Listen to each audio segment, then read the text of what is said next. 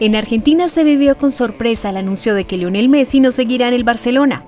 No la esperaba ahora, si no lo hubiera esperado el año pasado cuando Messi se hablaba de que no quería renovar. Como hincha de fútbol me duele mucho porque después de 21 años le dio todo al Barcelona, así que creo que se portaron mal con él. Creo que el Kun Agüero es uno de los más afectados.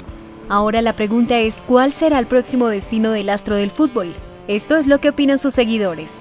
Se va al París, así que va a seguir jugando unos años más y supongo que en algunos otros se va a retirar. Yo creo que el próximo destino ahora va a ser en Francia, el País Saint Germain, porque está, está Paredes, está Neymar, este, sus amigos.